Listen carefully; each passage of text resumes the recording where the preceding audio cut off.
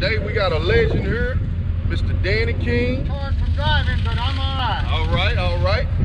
We're gonna ask Mr. King a few questions about his bait, how he came across making his bait, and where you can buy it from.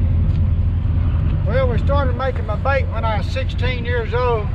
I had the Danny King original punch bait, which I sold that company and kept the royalties in it. And I come out with this new recipe, which I think's the best.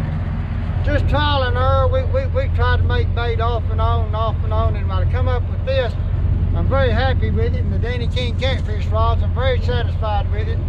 And if you ever try it, folks, you ain't gonna say no. This guy here, Reggie, is living proof that it works. Well, uh, this is a busy man, as you can see. Got all this bait right here. He got it for sale. Uh, how can you buy the bait, uh, Mr. King? Well, we have a, you can go on eBay, Walmart.com, you can go on Amazon, you can go on uh, uh, LazyJTackle.com, uh, TackleBandit.com, or we got a distributor right over here at Kilgore called A1 Bait and Tackle. Guess that's the end of the interview. Catch us on the next video. You can always catch us somewhere fishing. If you're in Rusk, Alto, or Jacksonville area, and if you're looking to test the bait out, just call Benny's Bait Shop out at Lake Striker in Reklaw, Texas. They got it on the shelf.